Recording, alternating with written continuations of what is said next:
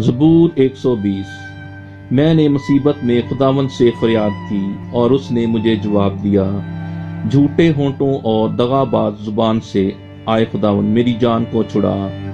आए दगाबाज ज़ुबान, तुझे क्या दिया जाए और तुझसे और क्या किया जाए? ज़बरदस्त के तेज तीर, झाओ के अंगारों के साथ। मुझ पर अफसोस के मैं मस्क में बसता और केदार के खेमों में रहता हूँ। सुलह के दुश्मन के साथ रहते हुए मुझे बड़ी मुद्दत हो गई। मैं तो सुलह दोस्त हूँ, पर जब बोलता हूँ तो वो जंग पर आमादा हो जाते हैं।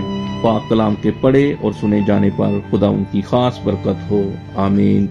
मुकद्दस की और वीडियो देखने के लिए हमारे यूट्यूब चैनल को सब्सक्राइब करें और बेल के बटन पर जाकर नोटिफिकेशन को ऑन